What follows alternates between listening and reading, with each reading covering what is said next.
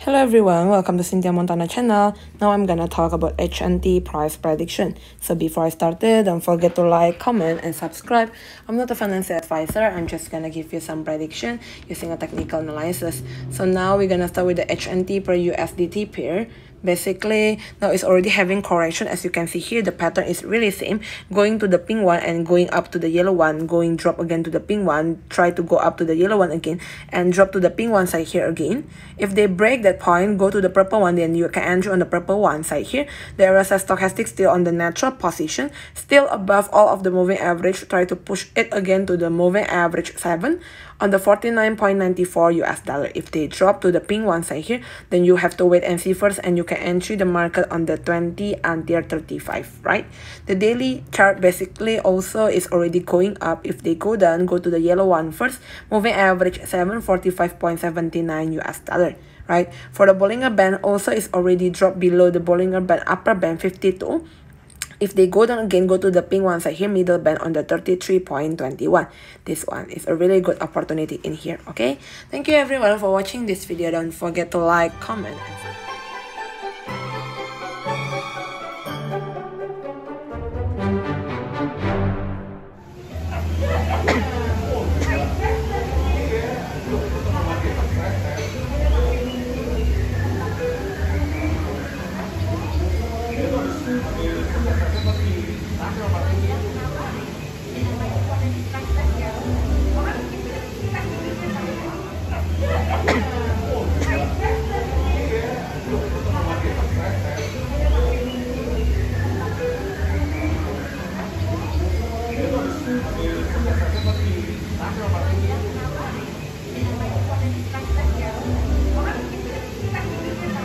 So now we're gonna start with the HNT per USDT pair basically now it's already having correction. As you can see here the pattern is really same.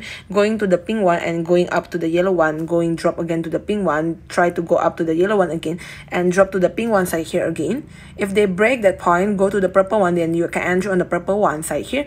The RSI stochastic still on the natural position. Still above all of the moving average. Try to push it again to the moving average 7 on the 49.94 US dollar if they drop to the pink one side here then you have to wait and see first and you can enter the market on the 20 until 35 right?